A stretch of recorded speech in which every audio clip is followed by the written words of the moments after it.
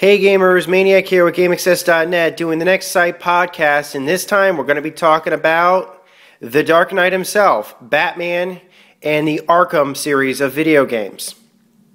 The great thing about the Bat has always been that Batman is a timeless character. Uh, he's been around when he was originally, you know, for a long time, you know, since the 1930s created by uh, Bob Kane with the original stories made by Bob Kane and Bill Finger. And then later on, in the years passing, well, let's face it, not only has there been comic books, there's been novels, there's been graphic novels, there's been several different animated series, several live action series, um, several movies, relaunches of movies, some of them considered some of the greatest movies ever made. He holds the title of world's greatest detective, well, fictionally, of course. Um, is a seminal character, and that's a testament to his creation. This is going to be kind of a bit of a different type of um, GameXcess podcast because my intention is to kind of talk a lot about the history of this, but also my experiences with this. Now, there's tons of history that I can go over with for a Batman character. And I plan to. The thing is, though, this is a gaming site. This is a gaming podcast. I'm not going to try to give you, you know, I, I wouldn't want to tread on the, you know, tread on the toes of some classic, uh, you know, ga- you know, comic book uh, artists and, and, and famous comic book historians and stuff like that you don't come to me for comic book information, you come to me for gaming information. I'm going to try my best to keep it in the realm of gaming, but I do think that some respect needs to be paid to the creation of Batman, so I'll try to keep it brief. For those of you who don't know, Batman was created by Bob Kane, a young Jewish man living in New York City, who was tasked basically to create a second superhero after the success of Superman. According to the documentaries that I have seen, Bob Kane was very inspired by um, the work of Leonardo da Vinci, and in particular, Leonardo da Vinci's notebook. The famous um, glider that uh, Leonardo da Vinci had designed was made up of what looked to be bat wings. In fact, Da Vinci had written down in the notebook that, um, remember, the wing should be that of a bat. So when Bob Kane was looking at the character, and this is, of course, by his own admission, uh, when Bob Kane was looking at designing the character and looking for inspiration, he kind of wanted to do two things. One, he wanted to have a character that was almost the exact opposite of Superman. So instead of having the powers of Superman, he decided to have a mortal man do this, you know, to do this. And inspired by the work of Leonardo da Vinci's notebook and by that comment, The Wings of a Bat, he decided I'll create a Batman. The rest is history. In fact, actually, if you look really closely, that inspiration has stun, stayed in, uh, to this very day. I mean, I specifically remember seeing uh, a very similar looking glider to Da Vinci's glider in Batman Year One, for example. He, it was, you know, it was the, the inspiration is still is still there. Batman has used gliders like that in the past, so I thought that was really interesting. The Batman's history is very simple. A young, a young boy with very, very wealthy parents watches his parents murdered in front of his eyes. He decides that at that moment he was going to become the last victim of, of, of crime.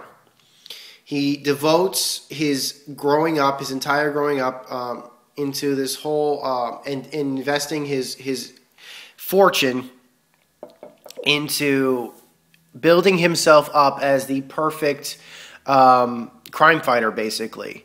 He trains his mind in all of new type of detective history and technology and um, forensics and things like that. He trains his body into being able to make nearly superhuman uh, feats of strength. He builds himself. He, he travels the world, um, learning from the best masters he can find. Um, all of the different uh, strengths and, and, and, and, things he'll need about how to control his mind, how to how to block out pain, how to be able to um, uh, la- you know stay you know endure beyond the human endurance.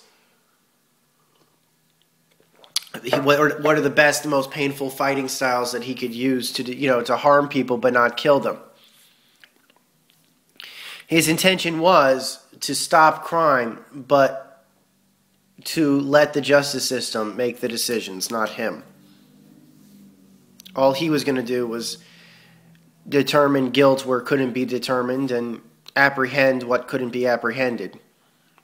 But that was where he was going to end. That was that he was not an executioner. He did not want to be an executioner.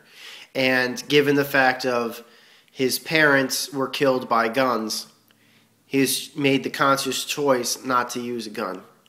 He would use other tools, um, to, to, including tools that he developed, but also common tools like knives and, and things like that, um, as assistants. And even though he was alone when he started, he determined the fact of he was he was unable to by himself invoke the advantage that he needed when fighting. He knew he needed to make them fear him. He knew he needed to be feared. He needed to be seen as something more than he actually was. And it was determined in probably the more recent retcons and things like that that he chose the mantle of a bat because the bat was frightening. The bat was something that was scary. It can be taken as something that was he, he could be perceived as something that was superhuman. Um, and he could have his revenge against crime.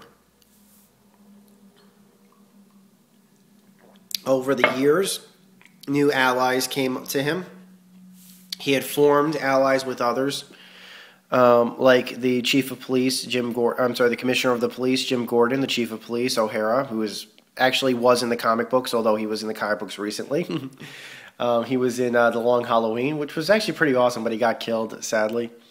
But it was nice that they actually did put O'Hara in the comics, and um, he gave them the tools to contact him if need be. The signal, of course.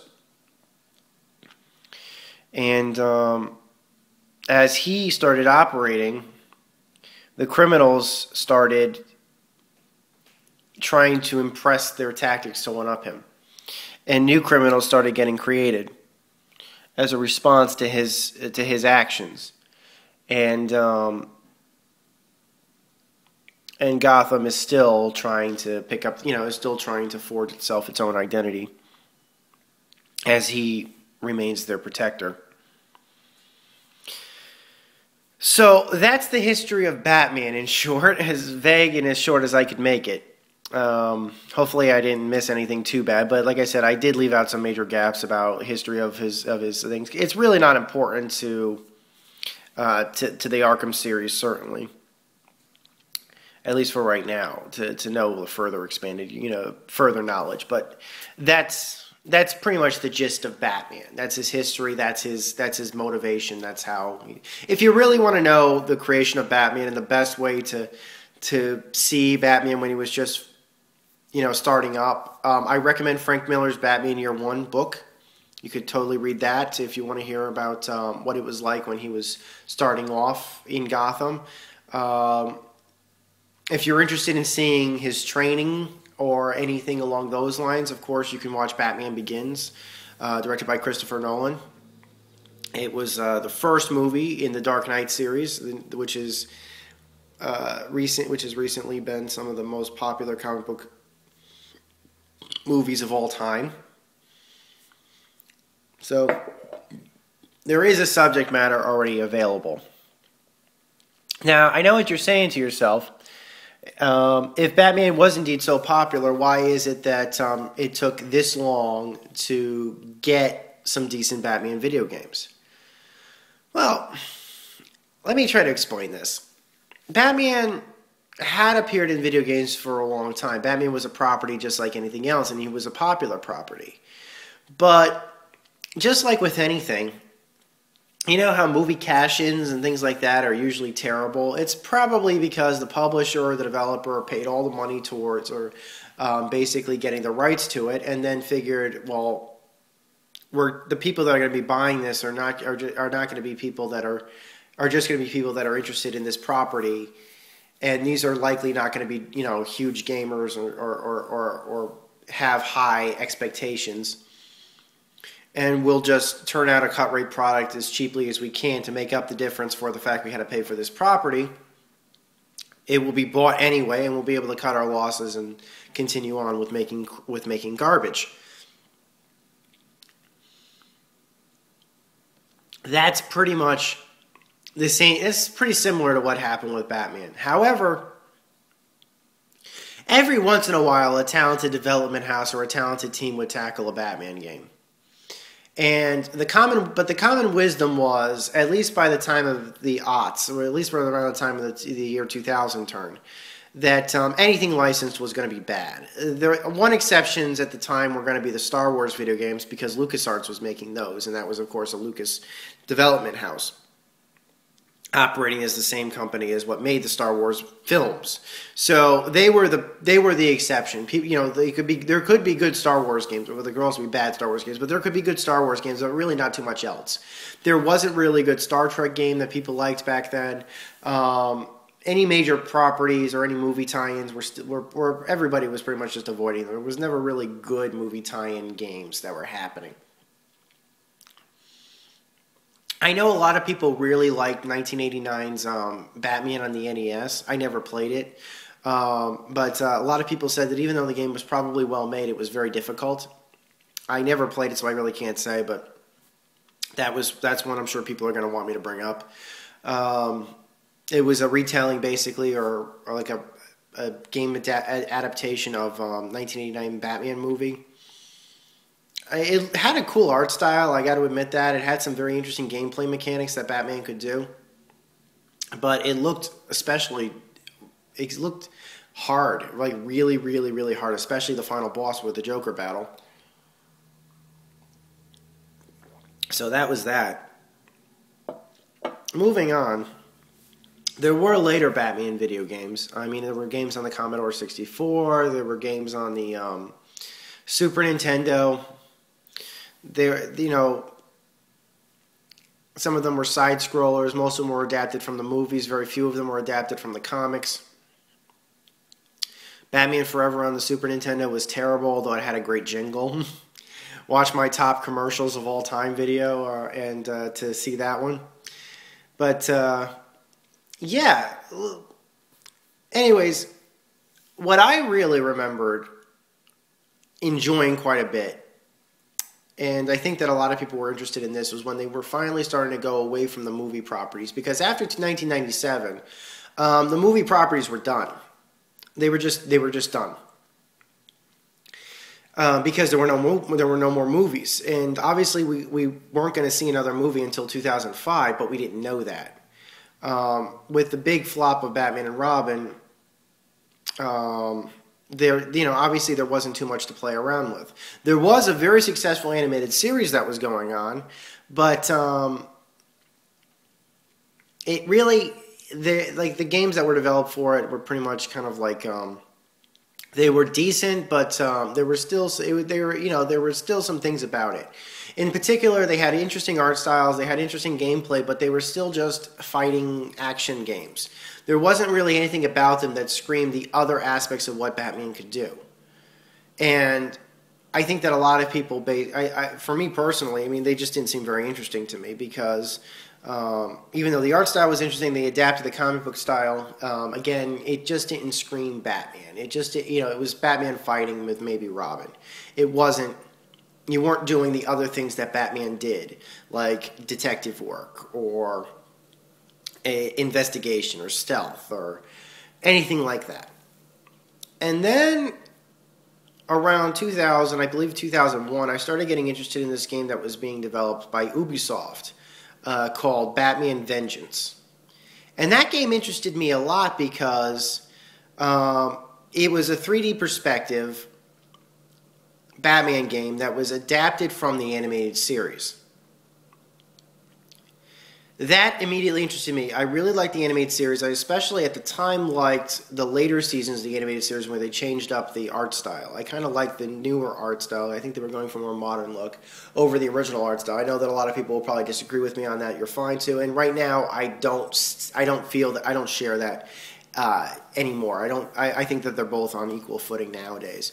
But um, I liked the at the time. I really liked the later art style, the more the, the more modern art style that they were going for the later season. And um, of course, I loved all the voice actors and actresses that, that did that series as well. Mark Hamill as the Joker, and of course, um, Kevin Conroy as Batman. Just amazing. Um, just just amazing. So, Batman Vengeance originally came out to consoles. It did eventually get a PC release. I think the reason why I got a PC release was because the console versions were so successful that um, you know a PC release was was merited, and because um, that happened every once in a while. If you had a really, really, really, really financially successful console game, they would eventually get it to PC. Um, so I remembered playing it and thinking, okay, this is it, it, it. wasn't perfect, but it definitely had a lot to it. Uh, it had the great voice acting continue. It had a cool art style. I liked how they kind of adapted that original, like that later Batman animated series art style to 3D. In fact, actually, that art style was an inspiration when the Justice League uh, television series started. They adapted, uh, or they should say, that was the inspiration for how they did the opening um, credit sequence for the original seasons of the Justice League animated series. It was actually inspired by Batman Vengeance, his 3D art style. And um, I thought, okay, this is a this is a good step in the right direction. It wasn't perfect, like I said, but it was a lot. It, it was it was a lot of what I was expecting. It had an interesting story to it. It had like decent. It had great voice actors. It had a really cool art style, which was good for the time. There were some problems with it. Um, I didn't, you know, like the, the, the vehicle sequences uh, I didn't like very much, but um, I'll, I'll, there, that's like not much to go into. Um, it, it, had a cool mess of villains. It, the you know the Joker was in it, Harley Quinn was in it, Poison Ivy was in it, Mister Freeze was in it. Um, it was it was a decent game. It was a decent try. It wasn't perfect, but it was all right, and um, it was it was the best that I could have asked for. And then I started getting really interested in something else. Um, around this time, again, I was a through and through PC uh, gamer. I had I didn't have any of the consoles at the time, but a lot of people started talking about this game called um, Batman Dark Tomorrow. Now, this was a game that was announced at I think it was first shown at like an E3 basically, and they had a um, this was after Dark. This was after Batman Vengeance. Um, and a lot of people became interested in it because of the initial trailers and teasers for it. We got to see Batman, we got to see a Batmobile, we got to see him fighting criminals, we got to see we got to see an early look at the Joker. And I think that that game when it was in development got a lot of people very interested because of the art style. Here was a game that was intentionally trying to get back to the comic book roots of the series and um, it was actually going to be as as ins- very inspired by the comics. It was like a part of the co- of the ongoing comic series. I wasn't reading the comics at the time, but I would later start reading the comics, and um, I really became interested in um, after the No Man's Land and the in like the No Man's Land series and stuff like that. I, w- I was like reading the graphic novels like clockwork, and um, all and it looked like it was taking place in that in that continuity, which was interesting certainly. And I thought, well, here was an opportunity to see something we never really saw in a video game, which was a comic book adaptation of Batman. We could see all of the major villains that were out at the time, and um, not just the ones that you know, not just be restricted to what we saw in a movie or an art style that we saw in a movie. So very interested there. The game came out um, but not before doing some. Um, oh, how do I put this? There, um, there was a huge, huge hype release for it. It was originally going to be a piece. I'm sorry, a PS2, Xbox, and GameCube game. The problem was was that they had a problem adapting to the PS2 hardware from the original GameCube engine. They could get it on the um, on the Xbox, but they couldn't. But basically, the original development the development platform for it was the GameCube they had to cut a lot out in order to get on the Xbox. and they just didn't have the time to get it on the PlayStation 2. So at launch, they put it on the PS2 and the game and the GameCube. The game was beyond awful, which is ext- probably one of the biggest gaming disappointments in all time. Um, obviously, there have probably been more popular ones, but this was at the time a huge, huge, huge disappointment. A lot of people were really invested in this game doing well. The people were really interested after the trailers came out. They thought this, this they, they released some of the CGI cutscenes that they'd included. They had a great orchestra do the um, do the music. They had a great director do the. Um, it was one of the Final Fantasy directors, if I remember correctly. Um, direct the cutscenes. A lot was pegging on this game of being a major game and probably bringing Batman back as a, as a viable video game property, especially on the heels of Batman Vengeance, which people thought was a good stepping stone. Dark Tomorrow was practically unplayable. The gameplay was beyond shit. It was horrible. And the, the Xbox version was even worse. The GameCube version may have been absolutely terrible Actually, both versions may have been absolutely terrible on a gameplay perspective, but at the very least, the, the GameCube version had some things going for it. In particular, it had collectibles, it had a cinematic viewer, it had uh, it basically had some things going for it. Uh, basically, wasn't all absolutely terrible. Uh, you just had to play through the game. that was that, but I thought the the story was interesting. I thought the cinematics were well made. I thought the CGI was great. Um, I thought they nailed the atmosphere uh, in the in the arenas and stuff like that. The problem was it didn't. It just the gameplay mechanics were completely broken. You had to do ten different steps in order to throw a bat rope. Um, and if you missed or if you made a mistake, you, you know, you die instantaneously. And in fact, that was like one of the first parts of a first level was you're going from rooftop to rooftop. You had you, you, the game didn't really explain to you well how the bat rope works, and it was it was terrible. To say nothing of the fact of the fighting system was broken blocking didn't work very well. Dodging was was was all right, but the the fighting system was bad. Basically, everything about this game, short of the story and the art style, was bad. Gameplay was bad. Uh, it was impossible just to navigate you know, pathfinding actually was difficult, knowing where you were because of the perspective change all the time. The camera wouldn't follow you around very much, it would constantly be shifting perspective, and because of that, you'd constantly be getting turned around. You had a radar on the screen. In fact, actually, they added a little line that showed you where you had been and where you were going. Uh, but uh, if you looked at it on normal gameplays, I bet you'd be constantly be constantly turned around. If only the camera could have followed you or something. You wouldn't have been getting lost. So there was that. It, you got to you got to see some cool enemies though. I mean, you got to see some enemies you really hadn't seen in a video game at this point. It was the first time I ever got exposed to Mr. Zsasz, for example. Um, it was the first time I, you know, we got to see like the Ratcatcher was in there, Scarface and the Ventriloquist was in there, Black Mask had an appearance, and of course, um, well, let's face it, uh, Mister Freeze, uh, Poison Ivy, Killer Croc, uh, the Joker, and I think the first time we ever saw uh, Ra's al Ghul and, and uh, Ubu in a game if only that game was better. You know, if only there was a better game that you could have put these characters in. And that's when Arkham City was announced.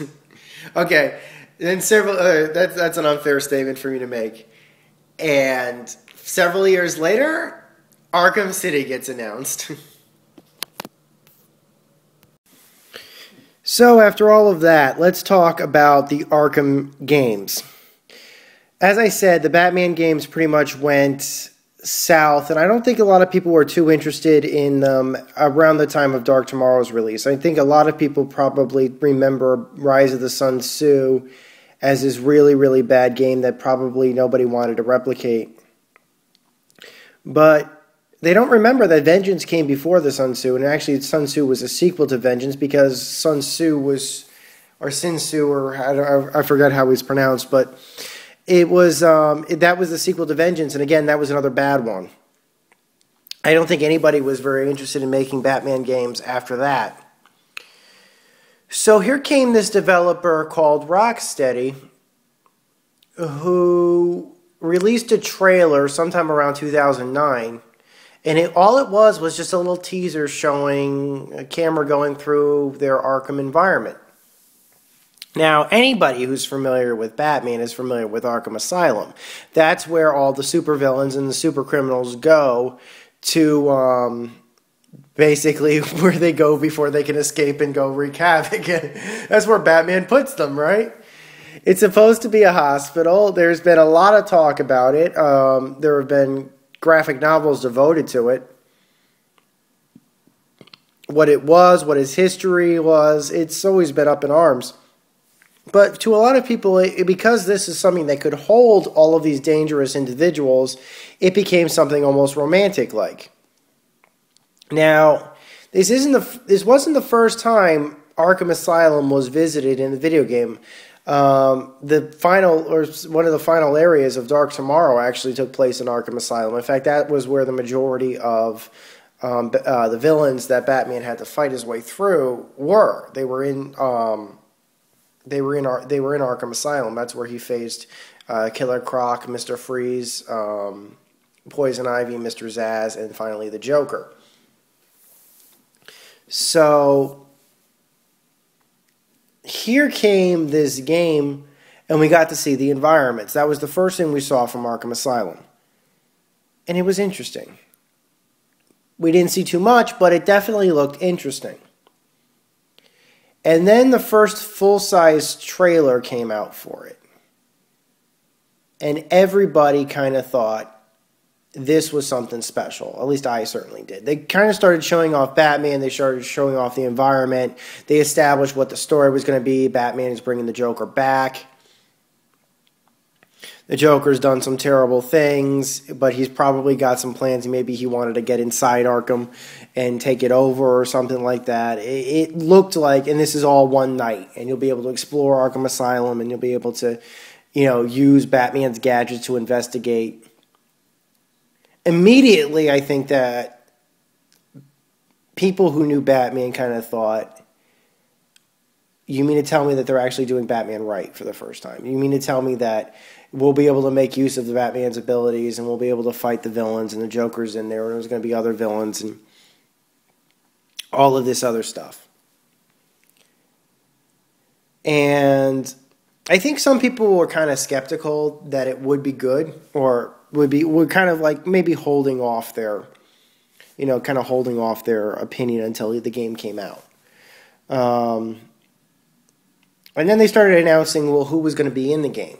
They had gotten the the cast of Batman the Animated Series were applicable. Kevin Conroy was going to be returning.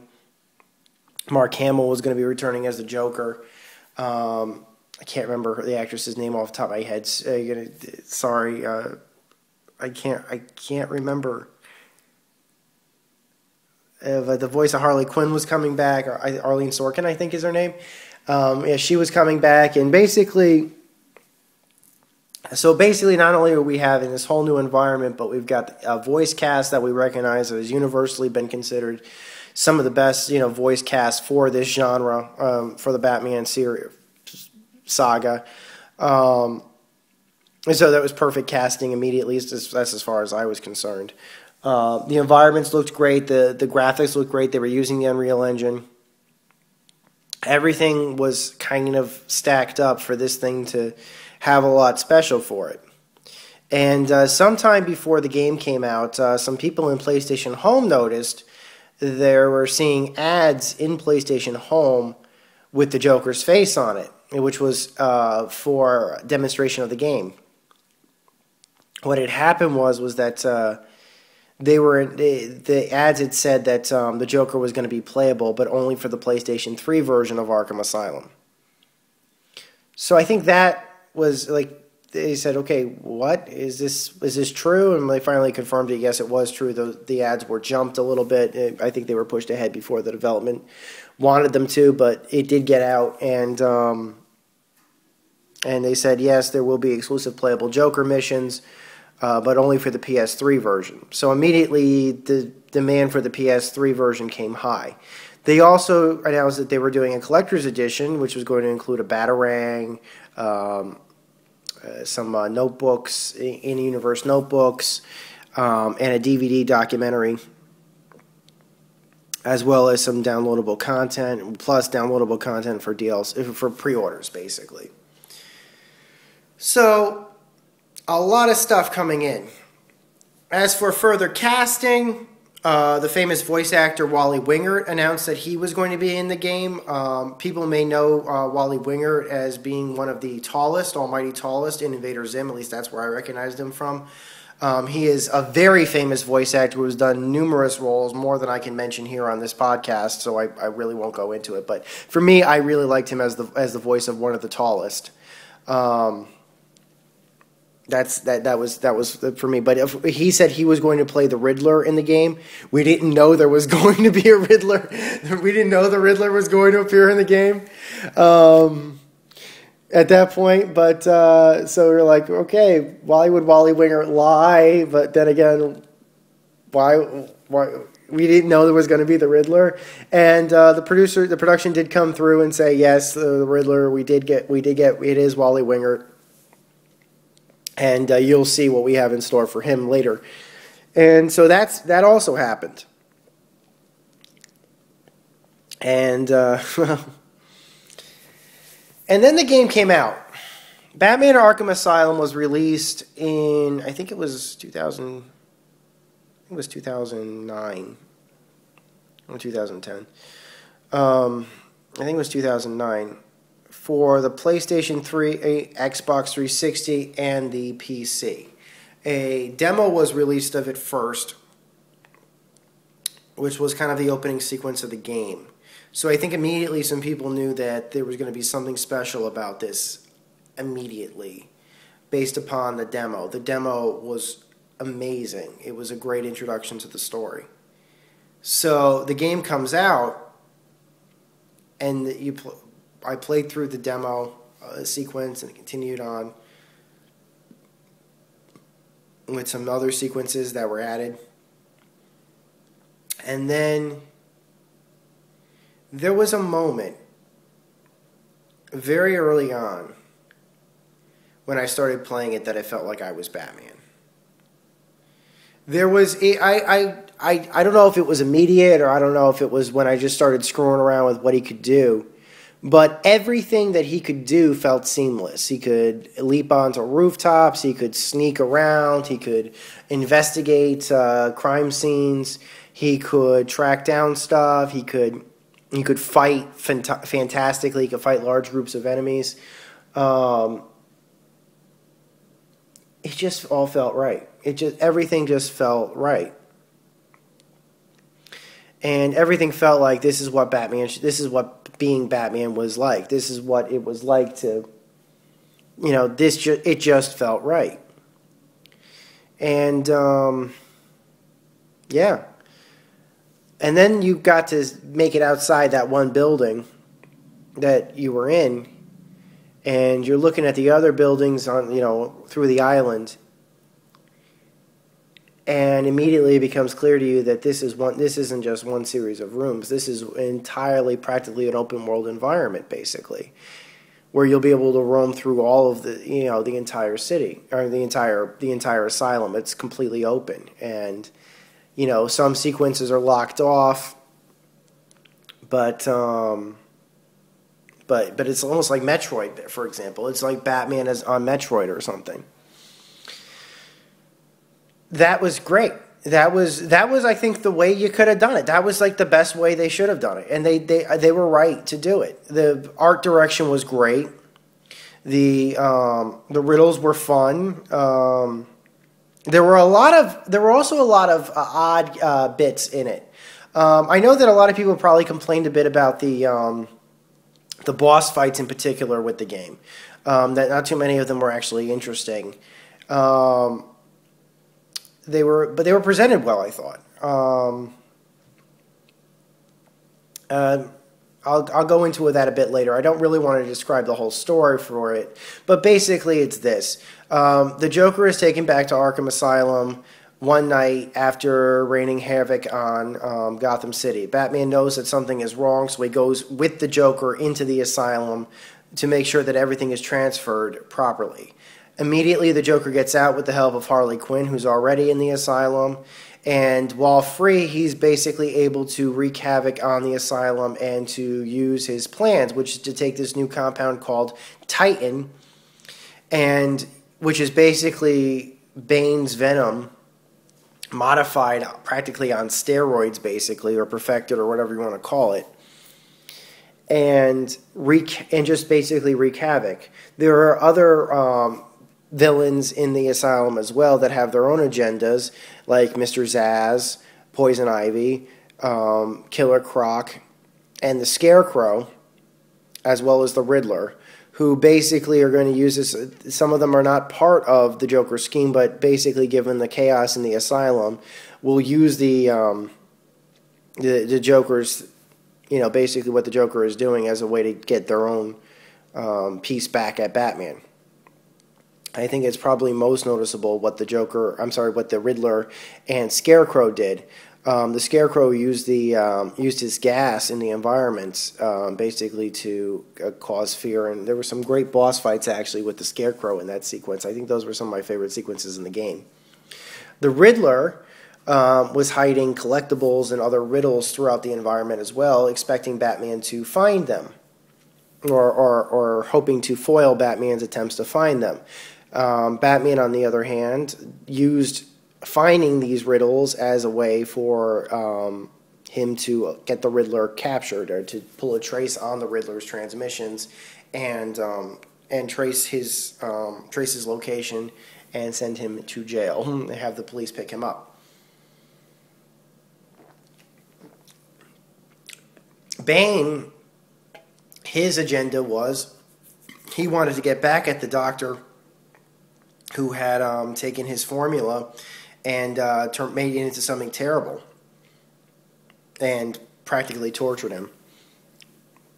As for um, Harley Quinn, well, she was basically doing what the Joker wanted, but you know she's like BFFs with Har- with uh, Poison Ivy, and she decided to let Poison Ivy out so she could spend some time with her flowers. And the po- and Poison Ivy really didn't have agenda of her own, except that um, the plants were kind of being affected by the use of the Titan formula, which were, was affecting her. And um, in the end, Batman faces down the Joker. He faces down the Joker's men. The Joker injects himself with the Titan formula. Batman defeats him in a stunning battle. The Joker is given an antibody to the Titan formula, which leaves him very badly disfigured and scarred um, and in pain. And um, Arkham Asylum is marked safe for the night. I believe, though, that Two Face decides at the very end of the night to rob a bank. And Batman uses his Batwing in order to uh, go investigate that. And the, uh, the reason why he had to use his Batwing was because he wrecked one of the bat. He wrecked his Batmobile, driving it into Bane. it was a great game. It was a lot. It was great. It was great in a lot of respects. It was great because it felt like the closest thing we'd ever get to an open world Batman game. You can explore all of the island. The art style was phenomenal. The graphics and performance was great. All of the abilities that you'd think Batman would be able to have and use were at your disposal. The art style of Batman and all the villains worked great, very much in the comic book uh, style. Although they did say that the game is in its own continuity, it is not the continuity of um, of the comic books. Although it was heavily inspired by the comic books. Um, as far as I'm concerned, that was like the best art style that you could go for. That was that I, I thought they did a great job actually of doing that art style, producing that art style. Um, I thought at the very end of the game, um, they do tease that uh, there is some Titan formula left over, and there are three possible endings, and they're, I believe, totally random. Where the Scarecrow takes some Titan, Bane takes some Titan, and Killer Croc takes some Titan at the very end. Um, and we don't know what happens to either of them after the end of that game. Um, I think that after that, a lot of people were kind of saying, "You did it." You finally did it, and it was considered probably when it was released the best Batman game ever, or best superhero game in general ever released. It was that good. It reviewed that high. The critics loved it. The people who bought it loved it. Um, there were some great deals, like I said. Um, I would imagine that obviously the PS3 version of that game was the best version by no doubt because it had the Joker down. It had the Joker levels. Um, those were never released to the to the Xbox 360 or the PC. The PC version actually had a pretty fun um, copy protection on it that I liked. Um, from what I've been told, uh, from what I read on the forums and stuff like that, if the game was pirated, Batman couldn't jump or glide, which meant that uh, anybody calling in for technical support immediately they knew he was a pirate or she was a pirate and uh, banned them. That was kind of funny, I thought. So I thought that there was, you know, when it came to what they were doing, there was no, you know, there was no better, there was just no better way to do it. At least for, you know, could, it was a great start for hopefully what would have been a large franchise. Um, there were tons of nods in there to all different kind of stuff. The Calendar Man cell was in there. You could tell because the pages were all over the place. Calendar Man, of course, everyone loved him from the Long Halloween. Um, the uh, there was other stuff like um, you could see Mister Freeze's cell. You could you know even though he wasn't in there. Uh, it was great. It was a great game all around. Uh, there was some downloadable content released um, later on. It was all free. They later took the included DLC that was included with like the um, special edition and the um, and the pre-order stuff, but they charged for that, which was fine because if you already had bought it, there was no reason to buy it again. Or I should say, if you already had the download codes for it, there was no reason to, die, to buy it again. The Joker con- content was also DLC, but that was also a free download as well. So all in all, it was a great game that was I thought had a really great release way. It, it released in a, in a very good way. There was, it wasn't a lot of DLC, and what was released was free. Um, it had some cool exclusives for, for one particular platform. It was easy to pick out which version you wanted. It had a great collector's edition. The Batarang, I, I don't know how I feel about the collectible Batarang. I didn't like that it was made of plastic. Um, and it was scratched very easily. But um, I liked the included documentary on the Blu-ray disc that was included with it. I wish that um, game. I think that was like the last game I can think of that actually included a behind-the-scenes documentary with it.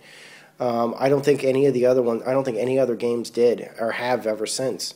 Um, pretty much everybody is just not releasing collect, you know, DVDs behind-the-scenes DVDs with their um, with their collector's editions anymore. They're releasing either books or just big collectibles.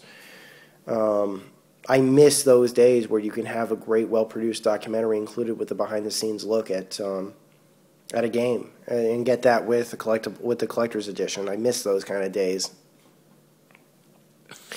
So moving on, Arkham Asylum is a huge hit. It's considered like the best video game ever, best superhero video game ever. It was you know, it was well made. It did a lot of, it had a lot of hats, but it was paid respect to all of the Batman mythos as well as uh, being a great game. Um, every, voice actors were great. It was a good, it was great. I can't rave about it enough. So everyone immediately starts assuming what is it that they can do next, and I think that a lot of people assumed immediately that, well, what would be coming next would be a Gotham City game, wouldn't it? I mean, like here they were saying like you could take it an Arkham Asylum as like a stepping point, and you could basically have all the abilities that Batman had in Arkham Asylum. Imagine how that would transfer over to an open world city, like you know something in Grand Theft Auto or something, where you'd be able to play as Batman in an open world environment. Everybody it's like you could have all different kinds of villains. You could have all these different kinds of um, you could have more villains you could have more uh, story you could have a bigger environment more joker riddles all this other kind of stuff. The possibilities were po- were endless with a, with the with, and people wanted it. People were like the, these abilities already would transfer over pretty well to a full game. Let's spin the dice and let's let's do a you know like a larger environment. But they weren't talking. The developers weren't talking and then Rocksteady did start talking. And they said that, um, and, and basically a new game was announced that was in the Batman Arkham Asylum uh, universe. And they showed it by doing a very cool teaser trailer, which showed a larger Arkham environment. Like a very large Arkham environment and they teased the Joker very, very sick from the effects of Titan, like very ill in a wheelchair, wheezing and coughing and, and badly, badly disfigured. And all they said was the big tagline was Arkham has moved. That was the tagline. And the speculation started. and I think immediately people were talking about. In fact, actually, there was no name Rocksteady didn't have a name for it. I think that um, eventually what happened was they actually had a letter writing campaign or some other type of uh, just a contest where you could name the game, and I think that the name ended up uh, being selected as Arkham City, if I remember correctly, or maybe that somebody else picked up a name and they just decided to call it Arkham City anyway. I don't remember which. And then the around the time of the game. Um, I believe it was the game uh, the Spike VGAs. They showed um, another teaser trailer, but this time a, a pretty good one.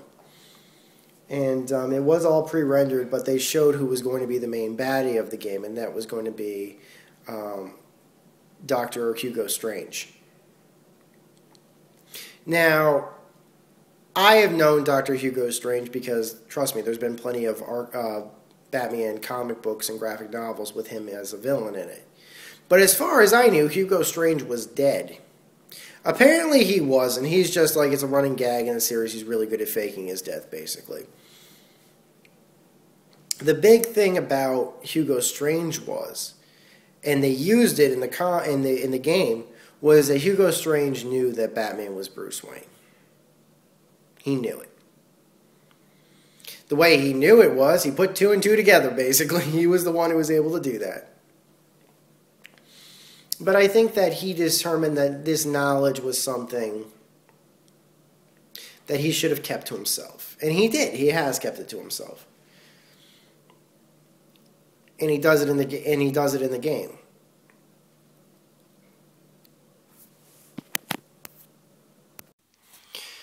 So at this point, all eyes were pretty much looking towards E3 for any further information about the game. At this point, Rocksteady really didn't show too much. Like we knew that Hugo Strange was going to be the big baddie. We knew the Joker was going to be involved with Harley Quinn. We knew it was going to be in what looked to be a bigger environment but we didn't know too much else other than that. There were some previews that were going around and things like that for um, just to show what the new concepts were going to be. There were preview early previews coming out where they showed Batman gliding around the city and that they were enhancing the gliding ability so he could redirect momentum, which I honestly don't think would actually work in real life. I've seen you know gliders. I, I don't think you can actually I don't think that actually works. I think people try doing that. It just, it, I don't think, I don't think that works well in a for for a glider. Um, I don't know why not, but I don't believe that actually can be redirected like that, or at the very least that it would you wouldn't be able to get as much momentum if you were to use a glider and then drop and then try to redirect yourself to propel forward. I don't think that's actually possible in real life. However, um, grapple boosting, we saw that also don't know if that's possible either. uh, but he's Batman, so we'll, I'll give him the benefit of the doubt. So these early previews were coming out, and they already were talking about the fact of not only would you be able to explore the larger environment, but you'd also but the Joker would be leaving clues all over. And unlike in the first game, which would have maps all over the place where the Joker would keep his riddles or answers, uh, keep his keep the answers to his riddles, or keep you know the locations of his riddle trophies around. Um, you'd have to find informants, and the Bat Cow would uh, tell you.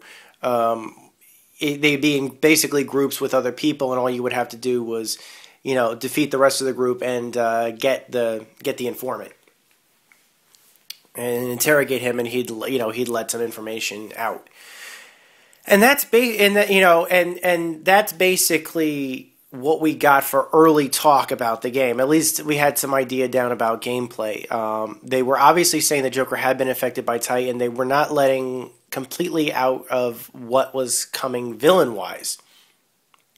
But the game, but people were doing gameplay previews, and it all looked fascinating to start off with. And then E3 happened. Now, I was at E3 2011. It was the first E3 I had gone to in years, and the last E3 I've been to since.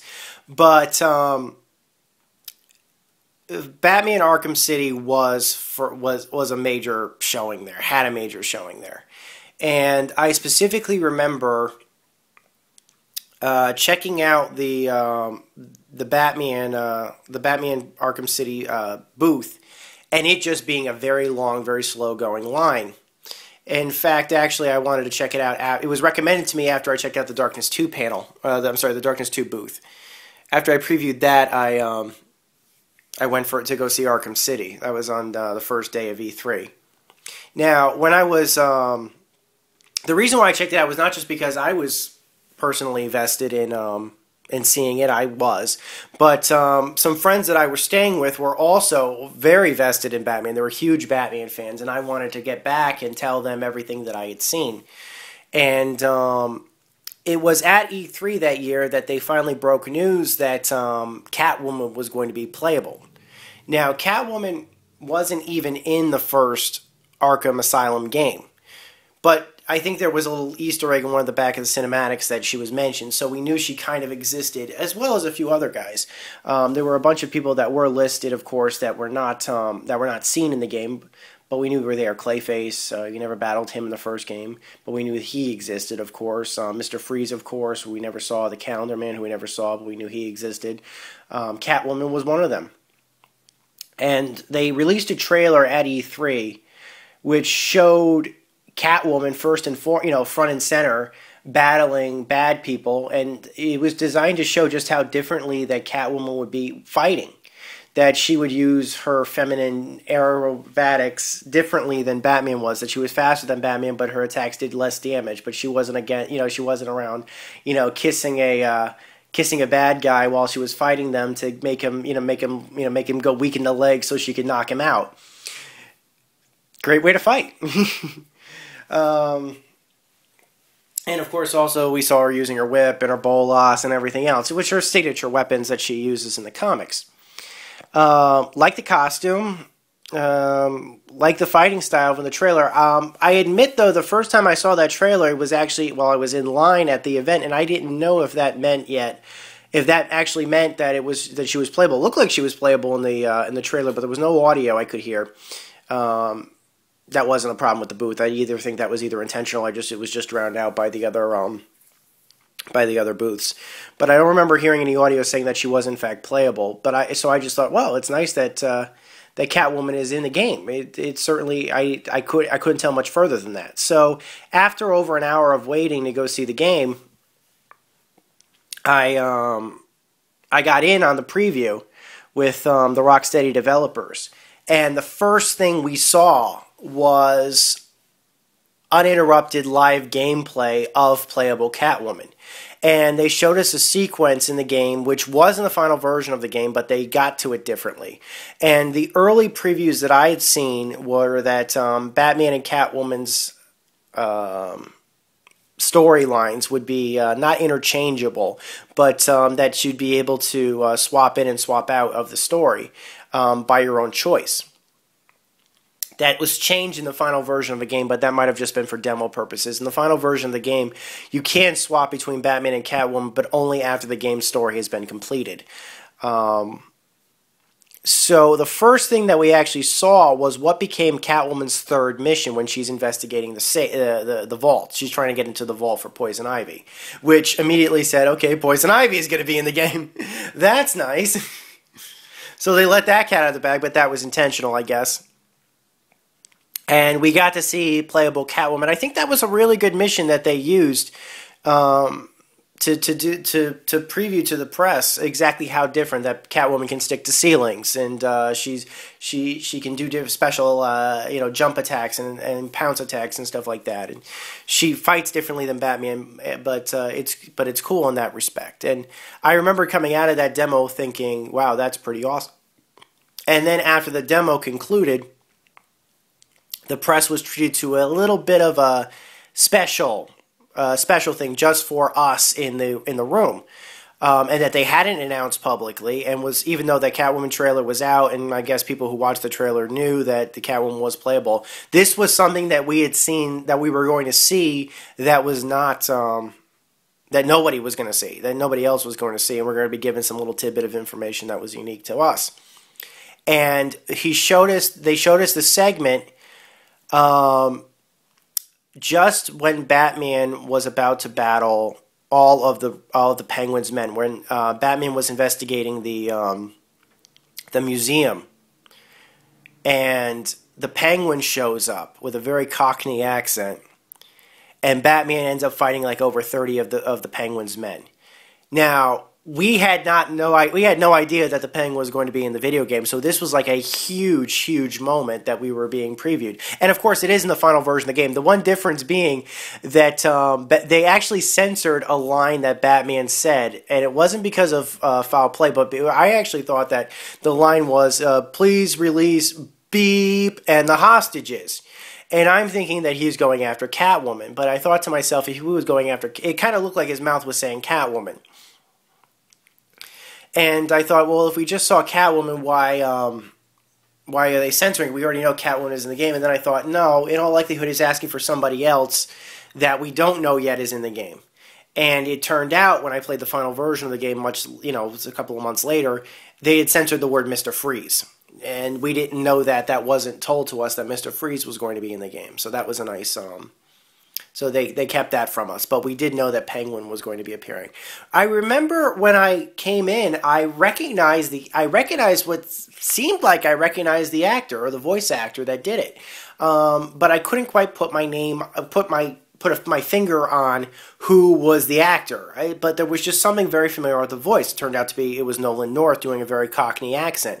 I I never would have guessed that, but you know it makes sense. Nolan North does have a lot of uh, video game credits to his name. He has a, you know, he's a He's done a lot of video games. He's not just the voice of Drake from Uncharted Drake's Fortune. He's also the voice of. Um, he also did the voice of uh, uh, Sergeant Forge from Halo Wars, a bunch of other characters. Um, in video games. So it's a you know it's a common voice to hear. That's probably why my ear recognized it. But because he was doing a Cockney accent, I couldn't quite place it was him. I'm sure Nolan North would be happy to know that. So I, that's you know just a testament to how well he can, I guess, pull an accent or or disguise his voice if he wishes to. So there you have it. Although I do think that if I remember correctly, uh, Nolan North did also voice a few henchmen as well, and you could tell that was Nolan North. So um, if I remember correctly, I do think I might have heard a, a Nolan North henchman during the Catwoman fight, but that could have just been my imagination.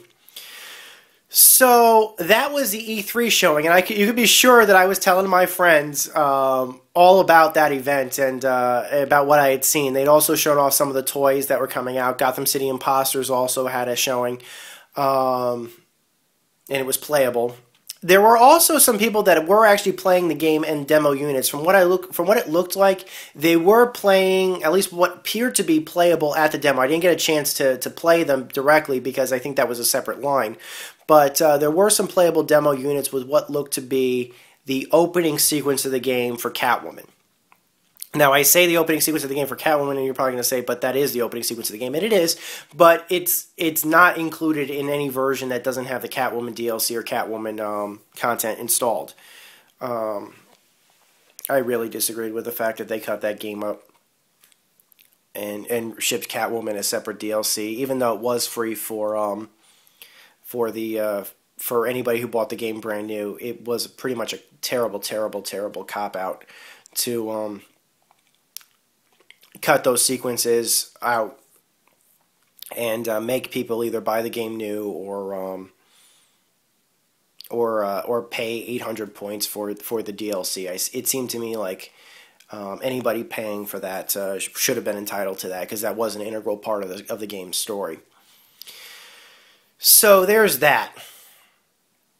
There was other stuff they could have given out for people that they could have given out a special I don't know costume or something like that. There was other stuff they could have given out for people who bought the game new. They could have given out any of the costumes, or they could have done different costumes. There were there was other stuff they could have done a special like um, room, like a challenge room or a battle room or something like that. They could have done that too, but they chose to cut out a good portion, or like a fourth of the game, basically, and release it as DLC. That was that I disagreed with that, but that's neither here nor there. Let, um, let's move on. Um, ironically enough, at the time, my friend was actually editing one of his movies. Now, I don't really want to go too much into this because this is not super, super personal, but it is kind of personal, and I really don't want to go into it that much. Um, but my friend was in the process of editing a movie while, and I was actually part, you know, contributing to that edit. Um, while telling him about all the Batman stuff. And needless to say, if you knew who my friend was and what he was working on at the time, um, it was pretty cool that I had all this to say to him, uh, all this Batman stuff to, to say to him during the process of the edit. And uh, because of that, I, I don't, uh, because of my help possibly, or just because I was there, or because, maybe because I was a friend, but I did, I do feel like I helped a little, you know, contributed a little bit, um, and gave some, gave some, you know, ideas for the edit. Um, he had already shot the film by that point, so I couldn't contribute to the shooting, but I, you know, I did give some ideas during edit, I am credited in his in that film that he had worked on, and I was really I was under special thanks. I appreciated that. So thanks a bunch. For, uh, thanks a bunch, bud. Um, so that was E3. Very good, very good showing. Certainly, um, that was the first time I really had seen the game playable. So definitely impressed with that. After that, um, the next major showing that they had done, I think the game was coming out in September or October. I think it was October of, of 2011. Just before that, um, the game got released, maybe about a week or two before the game got released, the last preview that they had done was at 2011's New York Comic Con. Now, um, New York Comic Con was basically the first Comic Con I had ever gone to. I've never been to a San Diego Comic Con, and I was ironically enough interested in the San in the New York Comic Con because they had um, because 2K had announced that they would be doing a Darkness 2 showing there. And that's how I first got exposed to the fact of the New York Comic Con happening. I checked the site, I submitted my press credentials, and they sent me a very nice email letting me in that year. And uh, props to New York Comic Con for letting me in, of course. So I'm going to, I, I, I set up and, and everything for the New York Comic Con. Uh, to preview the Darkness 2 plus whatever other games are going to be there. And one of the games that they had shown in one of the press panels, which I was there for, was Batman Arkham City. Now, let me just give a quick little summation of that panel. Um, Arkham City owned a good portion of that Comic Con. And I'll tell you why. One was they had pretty much the victors, the no, not uh, the um, oh, what do you call it? The the um, the the Hugo, the Doctor Hugo Strange trailer that I described at the very beginning of the uh, of this talk um, was basically playing on a loop outside the uh, the Comic Cons. They had this huge LED or LCD um, screen near the convention, uh, basically on the convention center's uh, sign. And right below that, they could run, you know, previews or trailers or information on what's going to be what's showing. And one of the things that they were running on that loop was the Victor's. I'm sorry, I keep calling him Victor Zsasz. Is Hugo Strange was the Hugo Strange trailer, which looked great. It was great to see that. Um, so that was that was really refreshing. I had never been to that convention center before. I heard great things from my uncle who used to live in New York and was very happy. It was hosted at the Javits Center, I believe I'm pronouncing that correctly, in uh, New York City. Uh, beautiful, beautiful center. Uh, beautiful convention. A lot of fun to attend to. Uh, a lot of fun, and. Um, and that was the new, and, and, and one of the first panels that they had on that, I think it was on that Friday, was the Batman Arkham City panel. Now, let me describe to you just briefly who was there. Now, they did have some team members from Rockstar in attendance. They also had Kevin Conroy. If you bring Kevin Conroy to a Comic Con, that panel is going to fill up. oh, yes. that they also had the lead singer from Soundgarden there. I forget the man's name off the top of my head, but definitely really nice guy. He's the guy with the long hair, the long wavy hair. I can't remember the man's name. He's the front runner for Soundgarden. Great guy. I know I'm ashamed to say I don't remember his name. I've actually been to a Soundgarden concert, and I don't know the guy's name. I know his music, and he did a great, great track for the Arkham City soundtrack, an absolutely phenomenal track. And I don't remember the guy's name, but I think it's Chris something or other. But uh, yeah, the, the guy from Soundgarden was there because he had just released a new single for Arkham City, and they were giving that out uh, to a select group for the uh, select few people at the panel. Um, they also gave out that soundtrack for digital download for anybody who had um, uh, bought the collector's edition of the game. But I'll get into that later. Um, like I said, there were also Rockstar guys that were there, um, and the guy Crawl, the the famous journalist, the famous gaming journalist who I was moderating the panel. And I've seen the guy moderate other panels, and he's awesome.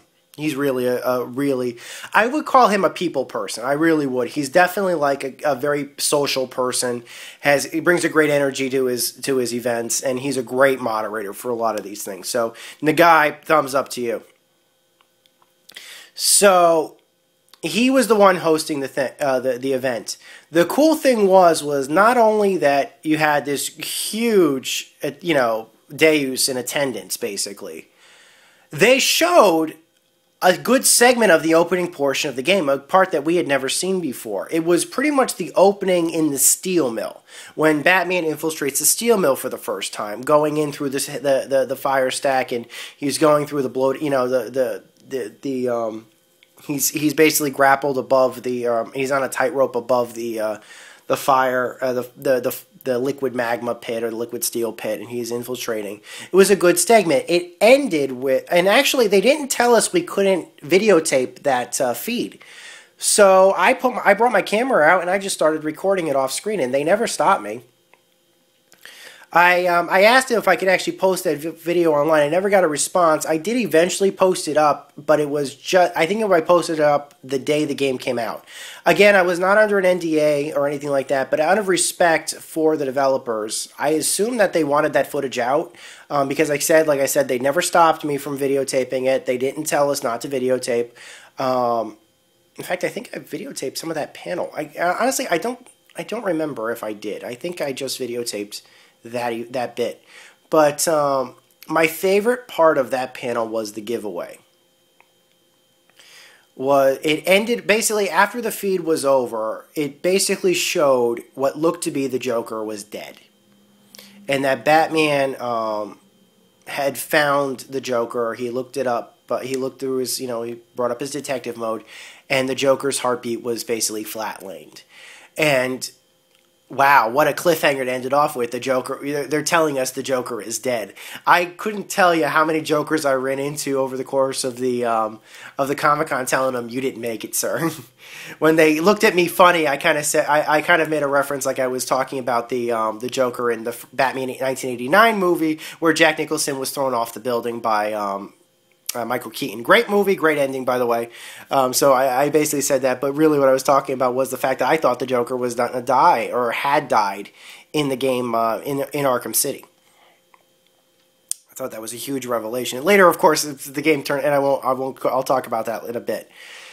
So at the very end of the panel, this is one of my favorite stories. Um, at the very end of the panel, they're starting to do the giveaway. Now, the rules of the giveaway were they were giving away a few things. They were giving away a couple of soundtracks to the game um, which, like I said, was included as, but they were physical copies of the soundtrack on CD. Um, that was one of the things they had given away. The big prize that they, they had also given away some controllers. Uh, the big prize they were giving away, however, was this custom Xbox 360, which had the graphics on it of the um, from the Batman art style, which was in like the black and white Joker and a black and white Batman. If you've looked really close at like the art uh, from the from like the Batman uh, covers and stuff like that for the uh, collector's edition, it was in that style. It was very much in that style, and also I think they used that style in some of the early wallpapers. Great style, don't get me wrong, fantastic style, great artwork. Um, so here they were giving away a custom Xbox 360. Now the the way the panel was, or the table that the panel was at, was design was laid out. The Xbox 360 just so happened to be in front of Kevin Conroy. Now, Kevin is a really nice guy, and basically, I guess you know to to to help people out so they could see it better. He he, you know, when they were talking about okay for you know the first giveaway is the, the, CDs. Check under your seats. If you find the CD under your seat, you've got it. You know, take it home with you. Of course, I didn't win that. Um, the second thing they were giving away were the controllers. They had tickets underneath the, um, you know, anybody who had the ticket basically could was a winner basically. So that was the second thing. Um, the third thing was the was I believe the console itself. Now to basically give the audience a better a better look at the console, Kevin picked it up and he held it you know he held it up a little bit now when they said okay the third thing up is this xbox 360 so of course like with anything it got a little applause when Kevin Conroy picked it up to give people a better showing, the applause got louder because the fans were basically insinuating, I guess, that the fact that Kevin touched it gave it more value. Kevin basically being urged on. Kevin never turned, you know, from what I know about Kevin, from what he said about for in interviews and stuff like that, he doesn't back down from that sort of stuff or from at least a little encouragement, he'll he'll say I am Batman or something like that. He's not against that. Um, if you recognize him or if you say hi, you know, in a convention or something like that, uh, he's not, you know, he's not against he's not against that. And he held up the when he was when he heard the people cheering on louder the fact that he was, you know, holding this up, he started like you know, touching it more and more, basically getting his hands all over it, and that just made the crowd go even crazier. I think he almost licked it, if I remember correctly. It was a fun, it was a fun little moment. Again, I didn't win the 360. It went to another person, but I thought that was a great moment. So obviously, by that point, the game was getting ready to be released, and uh, it was ready to come out. Um, my store had a midnight release for it they were doing a uh, giveaway for Batman figurines, I think plus a couple of graphic novels. I didn't win anything because I never win anything. Um, but um, they did give out T-shirts, which you probably see me wear in some of the videos. That's where basically I got it with pre-ordering the game. Um, I don't remember any posters being given out or anything like that. I remember uh, picking up the um, the collector's edition. I couldn't get it on the 360. I, I think I wanted it on the 360. I'm not. I mean, not on the 360 on the PS3, uh, just because there was nothing special about the PS3 version over the Xbox 360 version or PC version, basically. But um, it's not as far as I I knew. But um, so it really didn't matter which version I picked up. There were two reasons why. It was basically because I had the first game on the PS3, and the other reason was uh, it was basically just a continuity thing.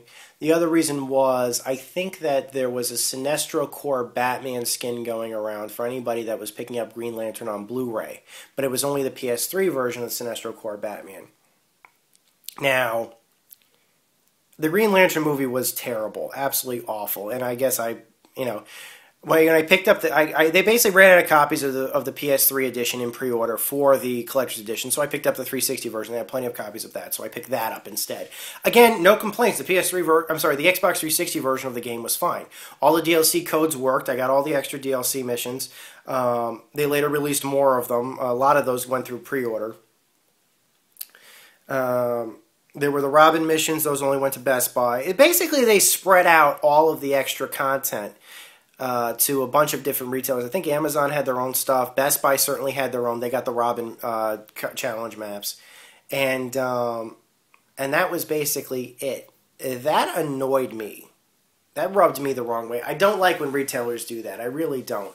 If you're going to split your content amongst multiple retailers, then at the very least have the decency to um, how do I put this? Release all of your content through a service like Xbox Live or PlayStation Market or PlayStation Store. Don't um, if you otherwise just stick to one retailer because there have been a lot of retailers that um, that will split out their stuff.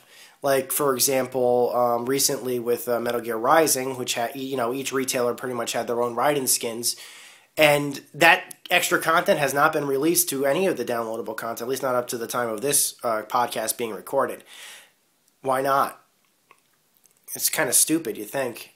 They've done it also with other retailers. In some cases, they do. I think they did um, eventually release all that extra content online, as well as through the Game of the Year edition, which I'll talk about in a bit. But um, yeah, there was all that, and again, I don't, I don't agree with that. Either have one retailer have your stuff, or release your stuff online, basically.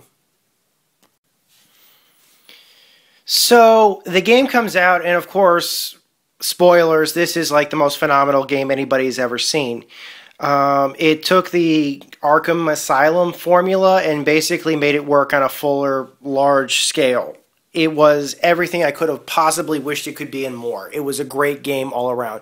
Again, I don't really want to say too much about what happened. Needless to say, um, bad things do happen. I turned out to be wrong on my assumptions from the previews that I had seen.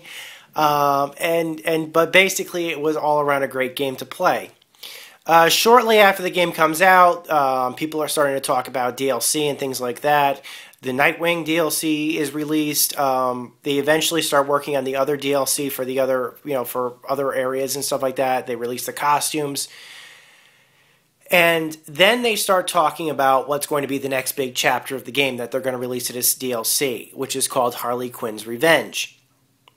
This was a big release because it was released to coincide with. First off, it was going to be continuation of the first game, uh, of the second game's story. So you have a little bit of like a postscript after that, like an epilogue, if you will. Second thing, they said it was going to be playable Robin. Cool there. The third thing was was that this was going to be released alongside a Game of the Year edition for Arkham City. That's when I got interested because it's always cheaper if they do these Game of the Year edition releases to just re-buy a game that's being re-released as a Game of the Year edition than to buy all the DLC that comes out for it. I am not even joking the DLC by that point had gotten so crazy in cost that it was actually cheaper to spend $40 rebuying the game with all of its DLC than it was to buy all the DLC through Xbox Live Marketplace or Sony or, or PlayStation Store. Now, the Harley Quinn's Revenge, I really don't want to talk about it because again, spoilers. I don't want to I don't want to discuss spoilers or anything like that. Needless to say, Harley Quinn was in it and she wanted revenge against Batman and Robin and everybody for what happened at the end of Arkham City.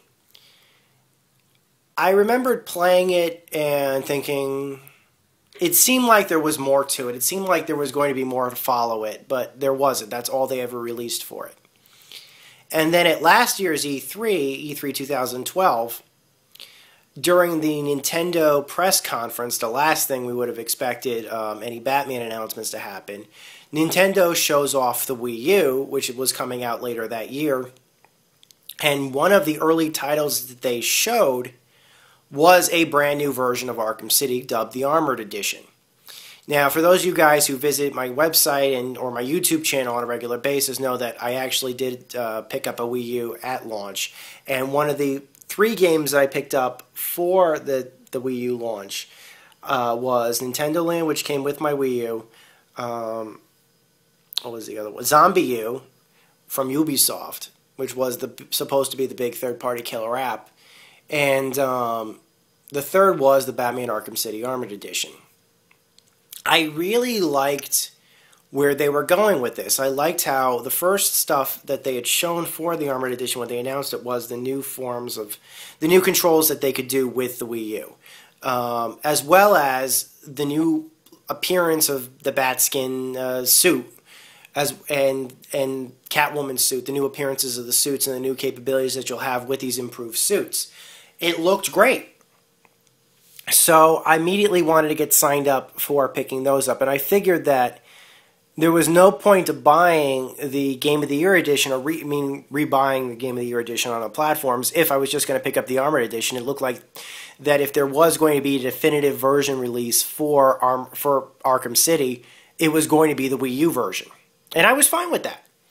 That didn't seem like too much of an issue. So I pick up I pick up the Wii U day and date. Uh, and uh, I get it early in the morning. I'm, I start setting it up after I got everything all taken care of for the unboxings and everything else. And for those of you who are interested, you can check out my YouTube channel for the unboxings. Um, basically, what happened is is that uh, I realized as I started looking at my selection of games, that's it. I really needed to pick up Arkham City. I really wanted to, so I did. And um,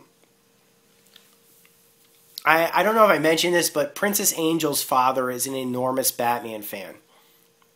And um, I was worried I was going to make him jealous by picking it up. But, I mean, I loved Arkham City, the original version of Arkham City, and I was really happy to pick up the Wii U version. That had problems. Um, Arkham City Armored Edition definitely had problems. It was buggy. It crashed a few times. It, it slowed down a few times it had nowhere near the performance or the seamlessness of like the Xbox 360 did. I don't know what the PS3 version's uh, performance was like, but it definitely had better. It didn't have as good as performance as the 360 version did. I didn't know if that was uh, problems with the game code or problems with the with the Wii U, or maybe that would be fixed in a system update or a firmware update or something like that. But I can tell you this: they never, up to this point of posting, released a patch for uh, Arkham City Armored Edition, and I noticed a really, really glaring bug in that um, after you play Harley Quinn's Revenge the first time, if you don't get all the balloons, then the second time you play, if you try to get the balloons, it resets the game back to the menu.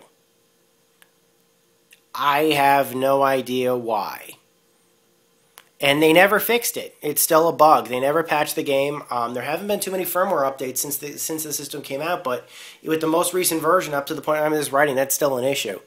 Also, I noticed the performance wasn't nearly as good. That having been said, I really liked the back computer controls. I really liked um, the enhanced capabilities. It, I mean, I felt like Batman playing that. I just wish the game had had a bit more polish to it. Or I wish that uh, he, WB or Rocksteady would actually patch the game. Um, because it's, I mean, that bug I just described in Harley Quinn's Revenge is a pretty glaring one. And I wish that they had, I wish that that obviously had been fixed. Also, like I said, it did do a hard system crash at one point. Um, the, P, uh, the Wii U is fine. I haven't had any other major crashes and stuff like that. It was just in that game. Um, I have read on their forums briefly. It looked like the people were complaining the game was buggy, but then again, I mean, people have complained about ZombiU and stuff like that. I don't know. Is it the definitive version of Arkham City? Absolutely. I just wish that it was a work a better. I just wish that it worked better. I mean, you could just imagine that this could probably be fixed in a single patch. I just don't know why they're not patching it. I I mean it, it's just I mean I could understand that it just is expensive to patch, but this game does have some glaring bugs. It has performance issues in some spots, and it does have some pretty glaring bugs, especially like I said that Harley Quinn's Revenge uh, bug. So that alone would probably make the game worth patching, or should overwrite the costs of patching. I understand that it doesn't make business sense to patch unless you absolutely have to, but this game needs to be patched. So there you have it, guys. Um, that's the end of, of basically my story of Arkham City. What's next? Well, for those of you who don't know, there's a third game that's coming for the Arkham Asylum series, and it's called Arkham Origins. It's going to be a prequel story uh, that takes place in Gotham with Batman, with Batman fighting on Christmas Eve as far as we know, for um, characters that have been confirmed, Slade has been confirmed, and not much else. If you're gonna do Slade, I don't have a problem with that at all, but please try to get Ron Perlman to do the voice. Um, Ron Perlman, at least the guy who sounded exactly like Ron Perlman, um, did Slade's voice in the Teen Titans series, which Slade was like pretty much the big baddie of that series on uh, on uh, Cartoon Network. I was a fan of watching that series for through its first season.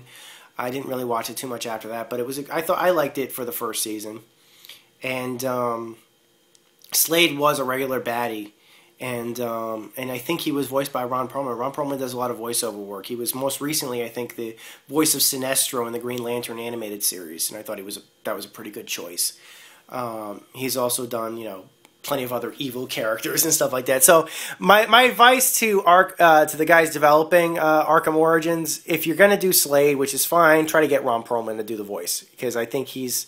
I mean, it's kind of to me basically the same as kind of getting, um, you know, Mark Hamill to do the Joker's voice. For me, the voice is kind of like a Ron Perlman is Ron Perlman. So just an idea, throwing that out there. You know, they might be going for something different, a different type of Slade, but I think Ron Perlman could bring it. I really do. Really looking forward to this game. Um, obviously, Rocksteady can definitely hit it out the park. They've proven themselves uh, twice that they can definitely deliver for a Batman experience, and um, I'm I think that this game is probably going to be a day one purchase for me. So there you have it, guys. That's the Batman series. I hope you enjoyed the podcast. Coming up next from GameXcess.net, Bioshock. I just realized I've not done a Bioshock podcast yet, at least not as far as my knowledge. And that's something that should be rectified. So coming up next for you guys, it looks like it's going to be a Bioshock, uh, Bioshock podcast. So until next time, guys, this is Maniac with GameXcess.net. Over and out.